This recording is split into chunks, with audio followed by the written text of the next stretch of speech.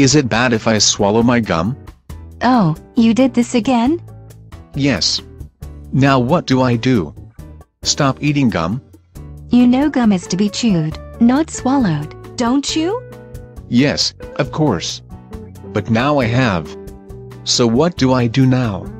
So do you really think that it's gonna sit in your stomach for the next seven years? Well, that's what my granny always said. Is it true? Is it really going to be like that? Is it going to create a mess? Or digestive problems? Oh, do let me know. I am really getting anxious now. Hey, take it easy. Yes, it is not a good thing to swallow gum, but it is not so bad either. So do tell me more. I really wanna know. Well, first of all, forget that seven-year story. It is not scientifically possible. Now that should put your mind at rest.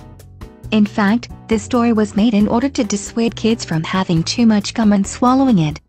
So is this gum gonna get absorbed by my body? Well, that would be great. I surely do not want any complications due to any residual food lying in my gut. Well, it is surely not that simple. Now the sugar and the preservatives may get absorbed by your body. But that gum is actually resin. There is no way that the body can absorb it. Oh now you put me in a fix again.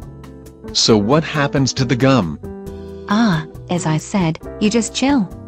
Now you don't need to do anything. With the normal peristaltic movement of your gut muscles, the gum will move its way out. So your trip to the bathroom will eventually lead to its removal from your body. Ah, now that makes me breathe easy. Well, do not go popping another gum now.